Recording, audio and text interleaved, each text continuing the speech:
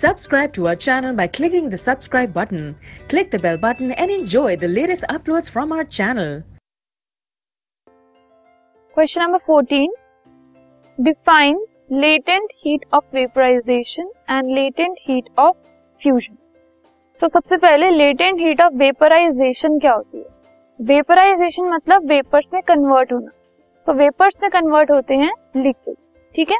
सो so, जो heat required होती है, जो हीट चाहिए होती है, एक लिक्विड को उसके वेपर में कन्वर्ट करने के लिए उसे कहा जाता है लेटेंट हीट ऑफ़ वेपराइजेशन इस केस में अगर वन के लिक्विड है तो उसको अगर हमें वेपर्स में कन्वर्ट करना है तो जितनी हीट रिक्वायर्ड होगी that will be called as the latent heat of vaporisation talking about the latent heat of fusion fusion का दूसरा नाम होता है मेल्टिंग तो if we are talking about fusion that means we are referring to melting अब melting होती है solid से लिक्विड्स में।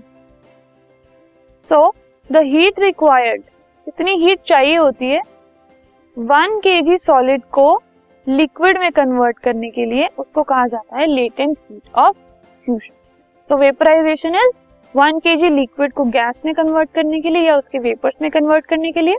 Fusion is one K G solid को उसके लिक्विड स्टेट में कन्वर्ट करने के लिए।